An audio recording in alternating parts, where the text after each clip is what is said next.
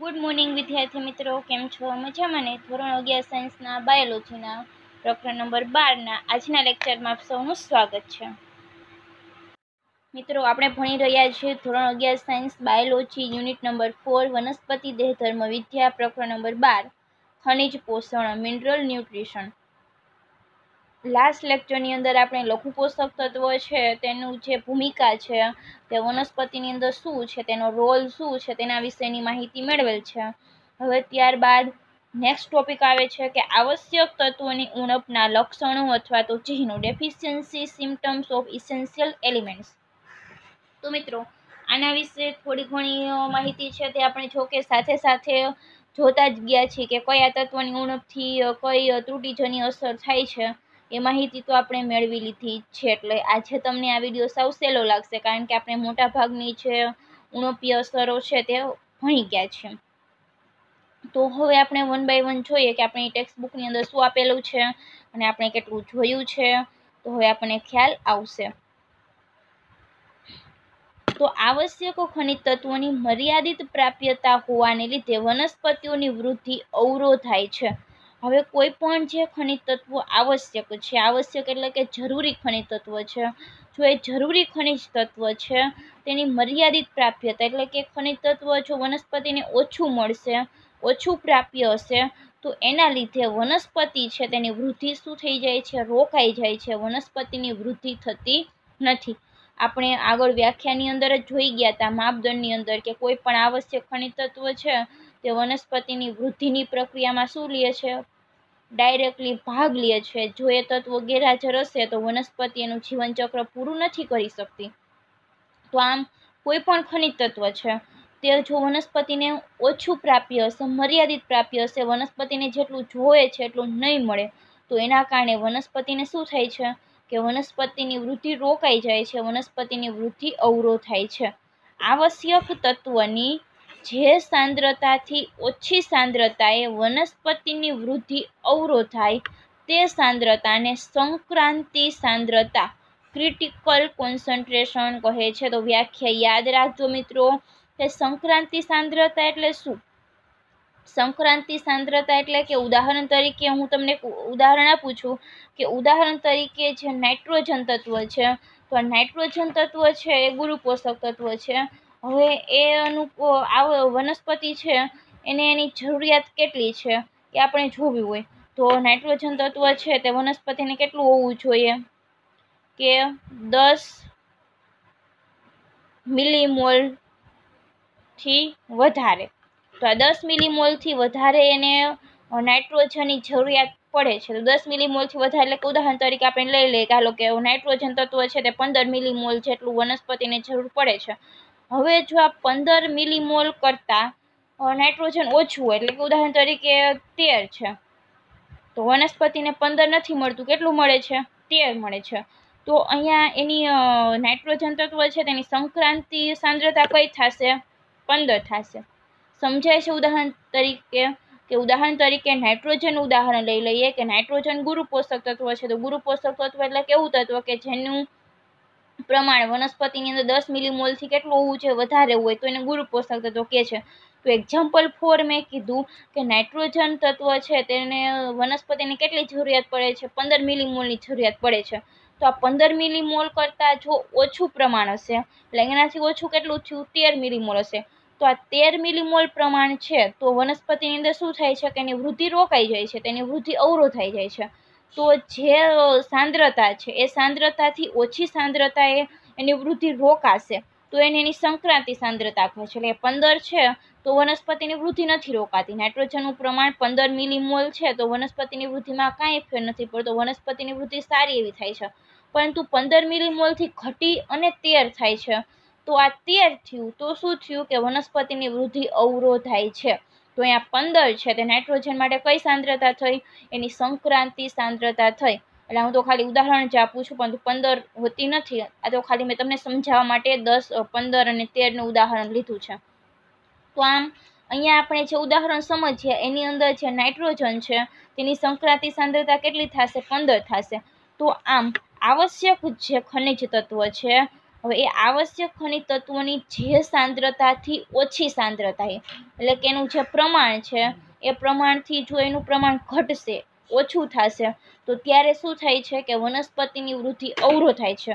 તો જે સાંદ્રતાથી ઓછી સાંદ્રતા એની વૃદ્ધિ અવરો થાય છે, તે સાંદ્રતાને કેવી સાંદ્રતા કહે છે? ક્રિટિકલ સાંદ્રતા અથવા તો એની સંક્રાંતિ સાંદ્રતા કહે છે.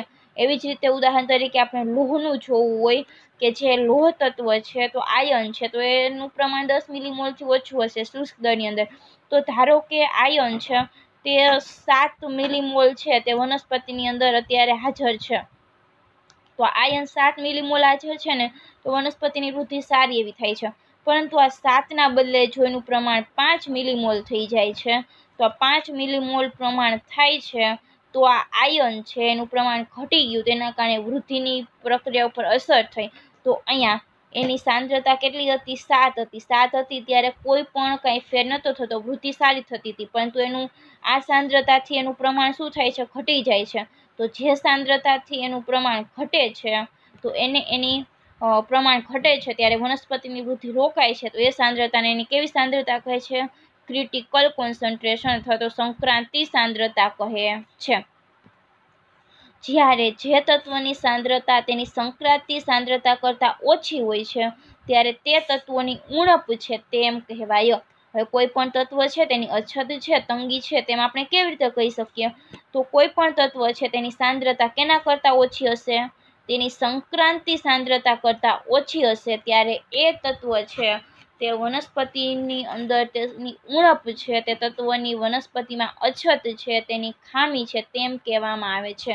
તો જો તમને ખાલી આ એક વ્યાખ્યા સમજાઈ જશે, એટલે તમને આખી ત્રુટિજની અસર શું છે ને તે પૂરેપૂરી સમજાઈ જશે કે આવશ્યક ખનિજ તત્વો છે, તે જો વનસ્પતિને ઓછા મળશે તો વનસ્પતિની વૃદ્ધિ રોકાય છે. તો જે તત્વની સાંદ્રતાથી ઓછી સાંદ્રતા એ વૃદ્ધિ અવરોધાય છે, તો એને એની સંક્રાંતિ સાંદ્રતા કહે છે. અને જ્યારે તે સાંદ્રતા છે, એની સંક્રાંતિ સાંદ્રતા કરતાં ઓછી હશે, ત્યારે તત્વો છે, તેની શું છે, ઉણપ છે, તેમ કહેવામાં આવે છે. હવે ત્યારબાદ આગળ જોઈએ નેક્સ્ટ શું કે છે?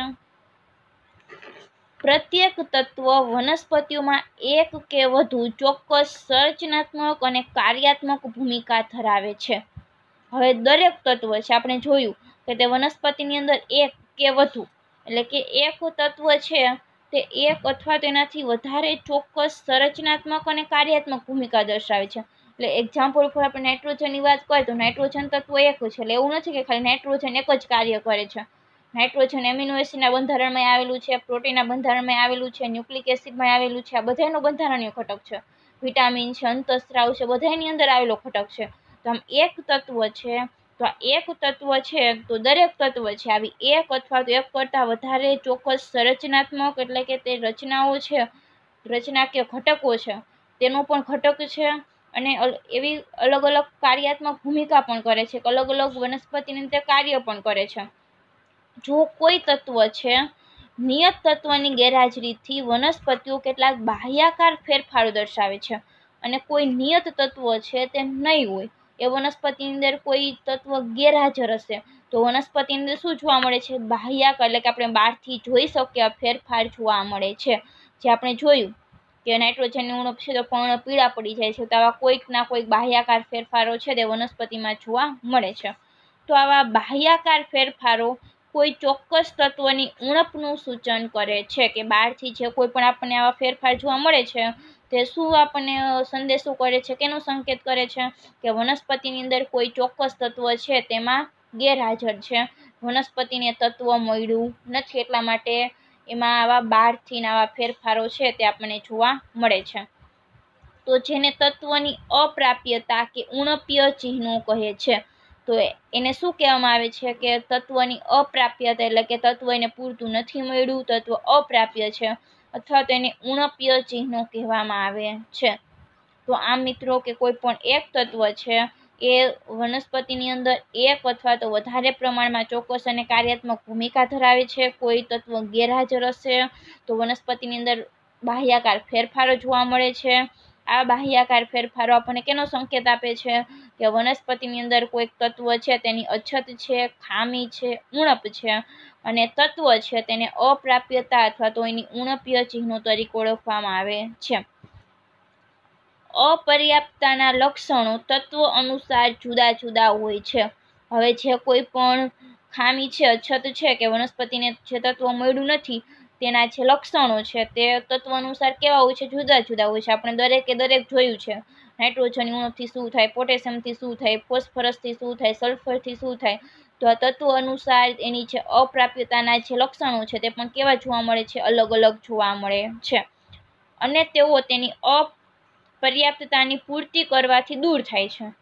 હવે વનસ્પતિની અંદર પર્ણ પીળા થઈ ગયા છે. ઉદાહરણ તરીકે નાઇટ્રોજન તત્વ એને મળ્યું નથી એટલા માટે એના પર્ણ પીળા થઈ ગયા છે. તો આપણે નાઇટ્રોજન આપી દઈશું તો એ વનસ્પતિ છે તેના પર્ણ હવે પીળા રહેશે નહીં. કારણ કે આપણે એને જે જોતું હતું એ વસ્તુ આપી દીધું છે એટલા માટે. તો આમ, એ વનસ્પતિ છે તેની જે અપર્યાપ્તતા છે તેની આપણે પૂર્તિ કરી દેશું. તો શું થઈ જશે કે એના લક્ષણો છે તે પણ દૂર થઈ જાય છે. આથી તે ઉણપો સતત જળવાઈ રહે છે. આથી જો ઉણપ સતત જળવાઈ રહે તો છેવટે વનસ્પતિ મૃત્યુ પામે છે. એટલે કે જો આ ઉણપ સતત જળવાઈ રહે કે એને નાઇટ્રોજન મળે જ નહીં નાઇટ્રોજન મળે જ નહીં, તો શું થાય કે એની ઉણપ કન્ટિન્યુઅસલી જળવાઈ રહે છે તો એના કારણે વનસ્પતિનું છેવટે શું થાય છે? મૃત્યુ થાય છે. પરંતુ જો આપણે એને આપી દઈશું તો કંઈ નહીં થાય. પરંતુ જો નહીં આપીએ, જો એને નહીં મળે, તો શું થાય છે કે આખરમાં વનસ્પતિ છે તે મૃત્યુ પામે છે. વનસ્પતિનો જે ભાગ તત્વની અપ્રાપ્યતાના લક્ષણો દર્શાવે છે, તેનો આધાર તત્વની વહનશીલતા પર રહેલો છે.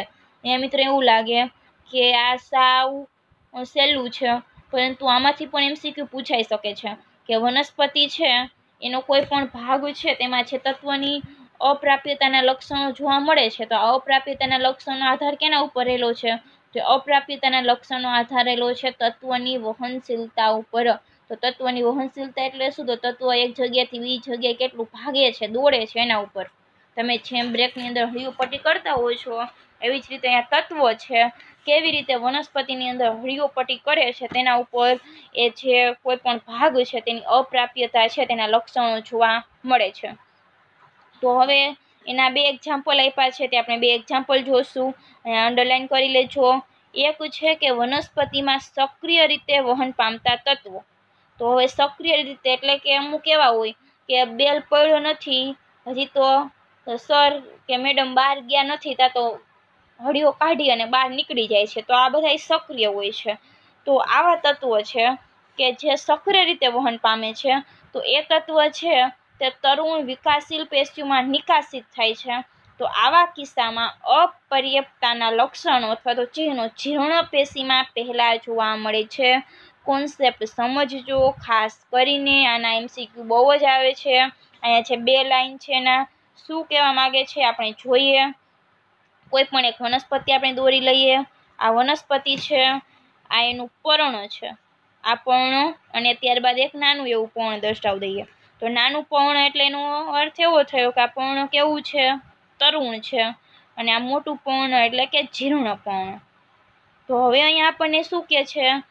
કે આપણને એવું કહે છે કે તત્વ છે, તેનું જે કોઈ પણ વનસ્પતિનો ભાગ છે, તેની જે અપર્યાપ્તતાના લક્ષણ છે, ચિહ્નો છે, તે કયા ભાગમાં જોવા મળે છે, તેનો આધાર તત્વની વહનશીલતા ઉપર છે. એટલે કે જે તત્વ સક્રિય રીતે વહન પામે છે, એ સક્રિય રીતે વહન પામે ને તો એની અપર્યાપ્તતાના લક્ષણ કેમાં પહેલાં જોવા મળશે? જીર્ણ ભાગમાં જોવા મળશે. કેવી રીતે જીર્ણ ભાગમાં જોવા મળશે? તો નાઇટ્રોજન, ત્યારબાદ આપણે લઈ લઈએ પોટેશિયમ અને મેગ્નેશિયમ. આ ત્રણેય તત્વો એવા છે કે જેમ આપણે બેલ પડ્યો નથી અને વિદ્યાર્થી ફટોફટ બહાર નીકળે ને એવા છે. તો આ પોટેશિયમ છે, નાઇટ્રોજન છે, મેગ્નેશિયમ છે. તે જીર્ણ ભાગની અંદર આવેલા છે, અહીંયા જીર્ણ પર્ણમાં આવેલા છે. તો અહીંયા શું થાય છે કે જીર્ણ ભાગમાંથી તે ક્યાં વહી જાય છે? કે જે વનસ્પતિનું તરુણ પર્ણ છે ને ત્યાં વહન પામીને વહી જાય છે. જીર્ણ ભાગમાંથી તરુણ ભાગની અંદર વહન પામી અને વહી જાય છે. સક્રિય છે. ફટોફટ દોડ દોડી જાય છે. તો હવે અહીંયા શું થાય છે મિત્રો? કે જીર્ણ ભાગ છે, એમાંથી નાઇટ્રોજન, પોટેશિયમ ને મેગ્નેશિયમ ત્રણેય વહી ગયા છે. તરુણ ભાગમાં વહી ગયા છે. ત્યાં જીર્ણ ભાગમાં નથી. તો આ જીર્ણ ભાગની અંદર શું થશે? તેની અછત વર્તાશે, તેની તંગી વર્તાશે. તરુણ ભાગમાં કાંઈ નહીં વર્તાય. શા માટે? તો તરુણ ભાગની અંદર તે તત્વ આવી ગયા છે. તો આમ આવી રીતે કે જે તત્વો સક્રિય રીતે વહન થાય છે અને સક્રિય રીતે વહન પામતા જે તત્વો છે તે જીર્ણ ભાગમાંથી ક્યાં વયા જાય છે? તરુણ ભાગમાં નિકાસિત થાય છે. એટલે કે અહીંયાનો નિકાસ કર્યો, એવું થયું ને કે જીર્ણ ભાગમાંથી તરુણ ભાગમાં જાય છે, તો એ નિકાસિત થાય છે. તો એને એક ઉદાહરણ આપેલું છે કે નાઇટ્રોજન, પોટેશિયમ ને મેગ્નેશિયમ છે. એની ઉણપ છે, તેના લક્ષણો કેમાં જોવા મળે છે? જીર્ણ ભાગમાં પહેલાં જોવા મળે છે. શા માટે? તો અહીંયા જીર્ણ ભાગની અંદર નાઇટ્રોજન, પોટેશિયમ અને મેગ્નેશિયમવાળા જેટલા પણ જૈવિક અણુઓ છે, તે જૈવિક અણુનું વિઘટન થાય છે અને આ વિઘટન થાય છે અને આ વિઘટન થઈ અને આ ત્રણેય તત્વો ક્યાં વયા જાય છે? તરુણ ભાગમાં વહી જાય છે. તો એટલા માટે અહીંયા જીર્ણ ભાગમાં તેની તંગી વર્તાય છે. તો આ એક ઉદાહરણ થયું. જોઈએ આપણે. કે વનસ્પતિની અંદર સક્રિય રીતે વહન પામતા તત્વો કે જે તરુણ વિકાસશીલ પેશીમાં શું થાય છે? નિકાસિત થાય છે. તો એવા કિસ્સામાં જે અપર્યાપ્તતાના લક્ષણો અથવા ચિહ્નો છે તે કેમાં પહેલાં જોવા મળે છે? જીર્ણ પેશીમાં પહેલાં જોવા મળે છે. મેં તમને આ પર્ણના ઉદાહરણ દ્વારા સમજાયું. તો ઉદાહરણ તરીકે નાઇટ્રોજન, પોટેશિયમ અને મેગ્નેશિયમ છે. તેની ઉણપના લક્ષણો સૌપ્રથમ કેમાં જોવા મળે છે? જીર્ણ પામેલા પર્ણમાં જોવા મળે છે. શા માટે? તો જીર્ણ પર્ણમાં તે તત્વ ધરાવતા જૈવિક અણુઓ છે, તેનું વિઘટન થાય છે, વિઘટન થાય છે, તો તરુણ પર્ણ છે, તેના વહનને શક્ય બનાવે છે. તો જીર્ણ પર્ણમાંથી તે તરુણ પર્ણમાં વહી જાય છે, એટલા માટે જીર્ણ ભાગમાં એના લક્ષણો પહેલાં વર્તાય છે. આવું જ બીજું ઉદાહરણ આપણે જોઈએ.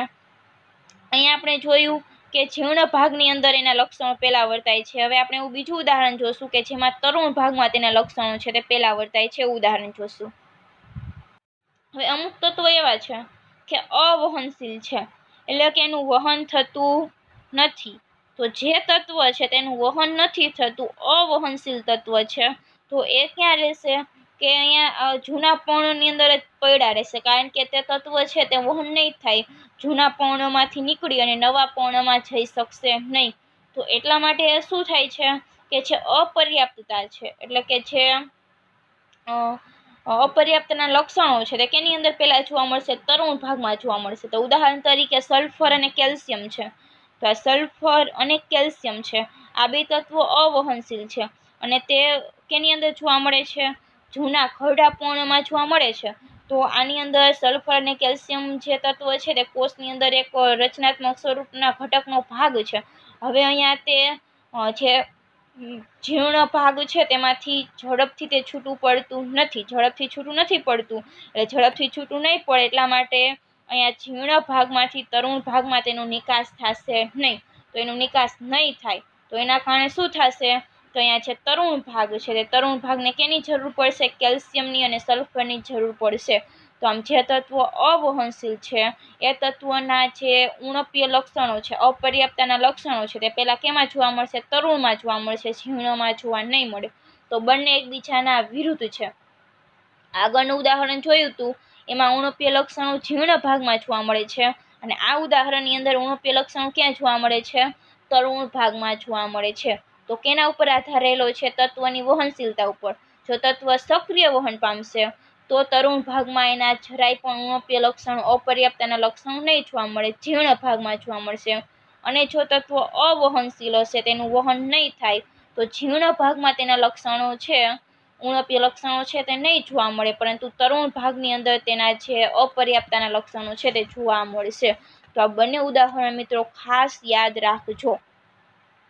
તો આપણે બુકની અંદર જોઈએ કે જ્યારે તત્વ છે તે અવહનશીલ હોય છે અને પરિપક્વ અંગોમાંથી બહાર નીકળતા નથી, એટલે કે અવહનશીલ છે તે જે પરિપક્વ અંગ છે, તે પરિપક્વ અંગમાંથી તે બહાર નથી નીકળી શકતા.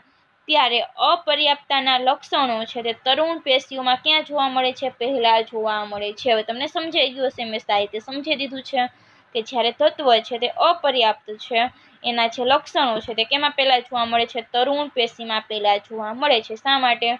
તો એ જીર્ણ ભાગમાંથી વહન પામી અને તરુણમાં જઈ શકતા નથી એટલા માટે. ઉદાહરણ આપ્યું છે, સલ્ફર અને કેલ્શિયમ કેવું છે? અવહનશીલ છે અને જે કોષના સંરચનાત્મક ઘટકના ભાગરૂપે છે. એટલે કે કોષ છે, તેની અંદર જે સંરચનાત્મક ઘટક છે, તેના ભાગરૂપે આ તત્વ છે તે જોવા મળે છે અને તેઓ સરળતાથી છૂટા પડતા નથી. એટલે કે આ બે તત્વ છે તે જે જીર્ણ ભાગ છે એમાં સરળતાથી છૂટા નથી પડતા. અને વનસ્પતિઓના ખનિજ પોષણનું આ પાસું કૃષિ વિદ્યા અને બાગાયતી વિદ્યા માટે આવશ્યક અને મહત્વપૂર્ણ છે. એટલે કે જે કોઈ પણ આ પાસું છે કે નાઇટ્રોજન, પોટેશિયમ અને જે મેગ્નેશિયમ છે એ છૂટા પડી જાય છે અને આ બે છૂટા નથી પડતા. એ કૃષિ વિદ્યા માટે અને જે બાગાયતી વિદ્યા છે તેના માટે જે આ પાસું છે તે કેવું છે? અગત્યનું છે. ત્યારબાદ આગળ જોઈએ કે વનસ્પતિ દ્વારા દર્શાવાતા ઉણપ્ય લક્ષણોમાં ક્લોરોસિસ, નેક્રોસિસ, વનસ્પતિની કુંઠિત વૃદ્ધિ, ક સમયે પર્ણ અને કલિકાનું ખરી પડવું, કોષ વિભાજનનું અવરોધન વગેરેનો સમાવેશ થાય છે. એટલે કે વનસ્પતિ છે એની અંદર કોઈ પણ તત્વ ગેરહાજર હશે તો એનાથી જે ઉણપ્ય લક્ષણો થાય છે, તો એમાં કયા કયા તત્વોનો સમાવેશ થાય છે? કેવા કેવા લક્ષણો સમાવેશ થાય છે? તો ક્લોરોસિસ ક્લોરોસિસ એટલે કે પર્ણ છે તે પીળા થઈ જવા. પર્ણમાંથી હરિતદ્રવ્ય છે તેનું પ્રમાણ ઓછું થઈ જશે, એનું વિઘટન થઈ જશે. તો હરિતદ્રવ્યના પ્રમાણ ઘટવાથી પર્ણ પીળા થઈ જાય છે. તો એક અસર થઈ ક્લોરોસિસ, ત્યારબાદ નેક્રોસિસ. નેક્રોસિસ એટલે કે કોષો મૃત્યુ પામે છે. કોષો મૃત્યુ પામે છે તેના કારણે પેશી છે તે પણ મૃત્યુ પામશે. તો એમાં પણ ખાસ કરીને પર્ણની અંદર જે મધ્યપર્ણ પેશી છે તેનું મૃત્યુ પામવું તો એને કહે છે નેક્રોસિસ. વનસ્પતિની કુંઠિત વૃદ્ધિ એટલે કે વૃદ્ધિ કેવી થઈ જાય છે? રોકાઈ જાય છે. વૃદ્ધિ થતી નથી. ત્યારબાદ ક સમયે પર્ણ એટલે કે પર્ણ છે તે સમય વગરના ક સમયે ખરી જાય છે. કલિકાનું ખરી પડવું એટલે કે જે વનસ્પતિની કલિકા છે તે ખરી જાય છે. કોષ વિભાજન એટલે કે એકમાંથી બે કોષ થાય છે, તો કોષ વિભાજન નથી થતું. કોષ વિભાજન અવરોધાઈ જાય છે. આ બધાય જે લક્ષણો છે, તેનો સમાવેશ આની અંદર થતો જોવા મળે છે, ઉણપીય લક્ષણોની અંદર. તો આપણે જોઈએ અલગ અલગ કે ક્લોરોસિસ છે, તો કયા તત્વની ઉણપથી થાય છે? નેક્રોસિસ કયા તત્વની ઉણપથી થાય છે? તો ક્લોરોસિસ છે, તે થાય છે નાપોમેસ આ મેન્ઝીમો. નાપોમેસ આ મેન્ઝીમો હું સૂત્ર લખાવીશ, તમે લખી લેજો, તો એનાથી ક્લોરોસિસ થાય છે. તો ક્લોરોસિસ શું છે? તો ક્લોરોફિલનો ઘટાડો કે વ્યય થવાથી પર્ણ પીળા બને છે. તેને ક્લોરોસિસ કહે છે. અંડરલાઇન કરજો. ક્લોરોસિસની વ્યાખ્યા. તો પર્ણ કેવા થઈ જાય છે? પીળા થઈ જાય છે. શું કામ પીળા થઈ જાય છે? ક્લોરોફિલ શું થઈ જાય છે? ઘટી જાય છે. હરિત દ્રવ્યનું પ્રમાણ ઘટી જાય છે. એના કારણે પર્ણ પીળા થઈ જાય છે. તો એને કહે છે ક્લોરોસિસ. તો કયા કયા તત્વની ઉણપથી ક્લોરોસિસ છે તે સર્જાય છે? તો એના માટે નાઇટ્રોજન, ત્યારબાદ potassium, magnesium, sulphur iron manganese, zinc અને મોલિબેનમ. આટલા બધા તત્વો છે. એની ઉણપથી શું થાય છે? ક્લોરોસિસ થાય છે. એટલે ઉદાહરણ તરીકે આમાંથી આટલા તત્વો અહીંયા આપેલા છે. એમાંથી જો નાઇટ્રોજન તત્વ નથી, નાઇટ્રોજન તત્વ એક નથી અને આ બધાય તત્વો વનસ્પતિમાં હાજર છે ને, તો એ શું થાય છે? પર્ણ, પીળા થઈ જાય છે. બધાય તત્વો હાજર છે. મેગ્નેશિયમ હાજર નથી, તોય પર્ણ, પીળા થઈ જાય છે. તો અહીંયા જેટલું પણ લિસ્ટ આપ્યું છે, પર્ણ, પીળા થવા માટે nitrogen, potassium, magnesium, sulphur iron manganese, zinc અને મોલિબેનમ આટલામાંથી કોઈ એક તત્વ ગેરહાજર હશે. તો શું થાય છે? પર્ણ, પીળું થઈ જાય છે. ત્યારબાદ એવી જ રીતે કેલ્શિયમ, મેગ્નેશિયમ, કોપર અને પોટેશિયમ છે. તેની ઉણપના કારણે નેક્રોસિસ એટલે કે પેશીઓનું મૃત્યુ. આ નેક્રોસિસની વ્યાખ્યા આપી છે. નેક્રોસિસ એટલે શું? તો નેક્રોસિસ એટલે પેશીઓનું મૃત્યુ અને એમાંય ચોક્કસપણે ક્યાંય પેશીની મૃત્યુ? પર્ણની પેશીઓનું મૃત્યુ.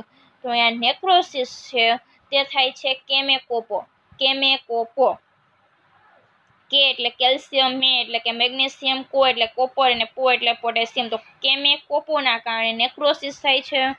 પર્ણની પેશીનું મૃત્યુ થાય છે પર્ણ છે. એની પેશીનું શું થાય છે? મૃત્યુ થાય છે. નેક્રોસિસ એટલે કે ટૂંકમાં પેશીઓનું મૃત્યુ. તો આટલા તત્વો છે, તેની ઉણપથી શું થાય છે? નેક્રોસિસ થાય છે. એવી જ રીતે નાઇટ્રોજન, પોટેશિયમ, સલ્ફર અને મોલિબ્ડેનમનો અભાવ અથવા તો એના ઓછા પ્રમાણને કારણે કોષ વિભાજન અવરોધ થાય છે. કોષ વિભાજન અવરોધ થવું એટલે કે કોષ છે તેનું એકમાંથી બે નહીં બને. મોસ્પોના મોસ્પોના મો એટલે મોલિબેનમ સ એટલે સલ્ફર, ફૂ એટલે પોટેશિયમ, ના એટલે નાઇટ્રોજન.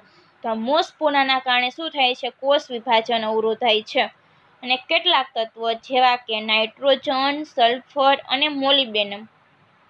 ની સાંદ્રતા ઓછી થવાને કારણે વનસ્પતિઓનું પુષ્પ સર્જન વિલંબાય છે. વિલંબાય છે એટલે કે લંબાય છે. એ જે પુષ્પ સર્જન છે તેનો જે ટાઈમ હોય છે, તે ટાઈમમાં પુષ્પ સર્જન નથી આવતું. પુષ્પ સર્જન મોડું થાય છે અથવા તો પુષ્પ સર્જન થતું પણ નથી. તો એના માટે જવાબદાર છે મોલિબેનમ સલ્ફર અને નાઇટ્રોજન મોસના. તો એમાં પુષ્પ સર્જન છે તે અવલંબાય છે અથવા વિલંબાય છે. તો સૂત્ર લખી લઈએ જરાક આપણે, જેના કારણે તમને યાદ રાખવામાં સહેલું પડે. ક્લોરોસિસ છે, તો ક્લોરોસિસ કયા તત્વના કારણે થાય છે? નાપો મેસ આ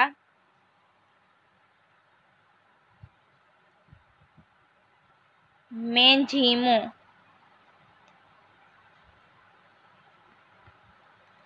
નાપો મેસ આ મેન્ઝીમો, કે જેના કારણે મેન્ઝીમો એટલે મેંગેની છે, જેના કારણે ક્લોરોસિસ થાય છે.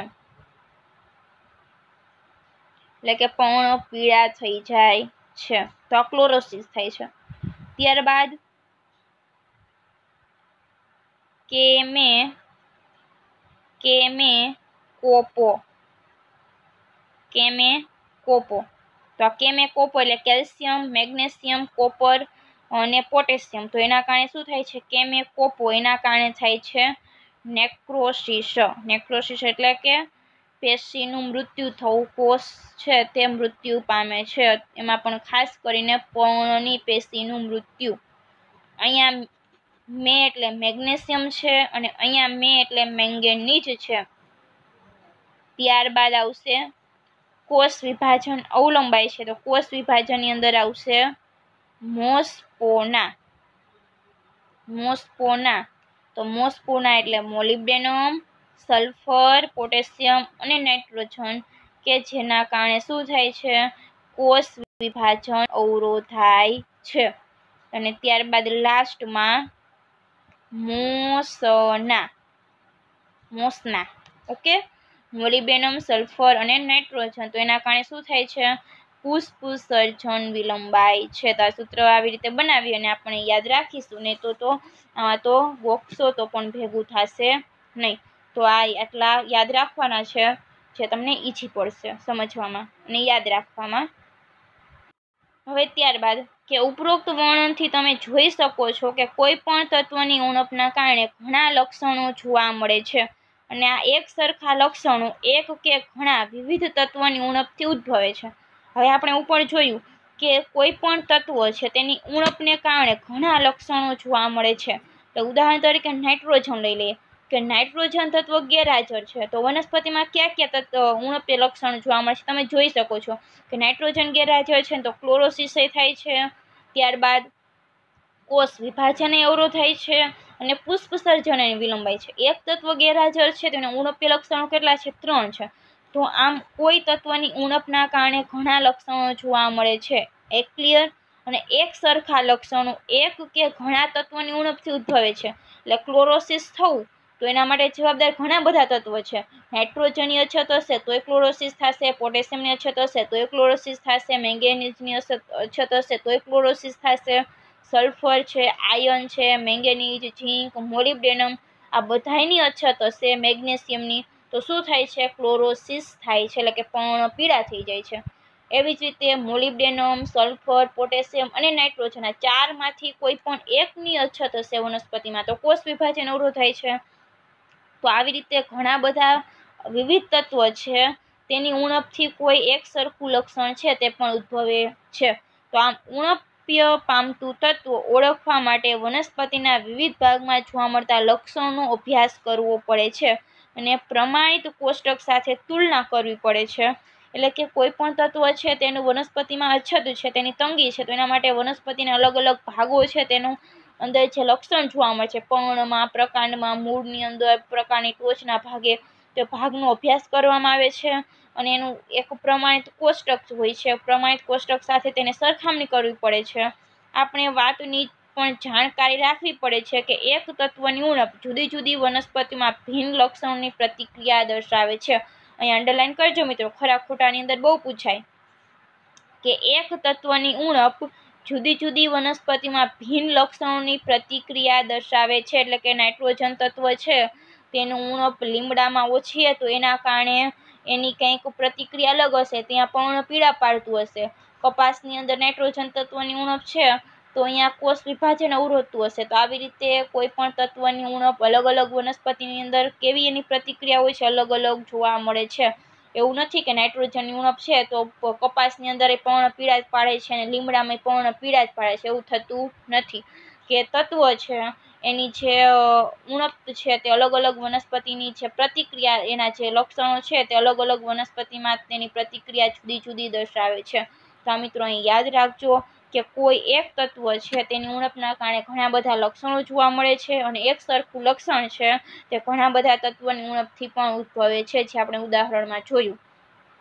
તો આમ, અહીંયા મિત્રો આજનો જે આપણો ઉણપીય લક્ષણવાળો ટોપિક છે, આવશ્યકતાની તત્વની જે ઉણપ છે, એના લક્ષણો અને ચિહ્નો છે તે પૂર્ણ થાય છે. ત્યારબાદ નેક્સ્ટ આવે છે ટોક્સિસિટી ઓફ માઇક્રોન્યુટ્રિયન્ટ્સ કે લઘુ પોષક તત્વોની વિસ્તારિતા વિસ્તારિતા એટલે કે ટોક્સિસિટી ઝેર લઘુ પોષક તત્વોનું પ્રમાણ વધારે હોય છે, તો વનસ્પતિમાં વિસ્તારિતા ઉત્પન્ન થાય છે. તો એ વિસ્તારિતા કેવી રીતે ઉત્પન્ન થાય છે ત્યાંના પછીનો જે નેક્સ્ટ ટોપિક છે તે આવે છે તે હવે આપણે નેક્સ્ટ લેક્ચરની અંદર જોશું. આજે આપણે અહીંયા સુધીનું રાખીએ છીએ. સારી રીતે તૈયારી કરવાની છે મિત્રો. નેક્રોસિસ, ક્લોરોસિસ, કોષ વિભાજન અવરોધાય અને પુષ્પસર્જન વિલંબાય કયા તત્વની ઉણપના કારણે મગજમાં ગોખી નાખજો, ફિટ કરી દેજો. એમસીક્યુ હોય હોય હોય અને હોય જ છે. ઘણી બધી એક્ઝામમાં પૂછાય પણ છે. ઓકે મિત્રો, તો સારું, સારી એવી તૈયારી કરવા માટે all the best. Have a nice day. Thank you so much.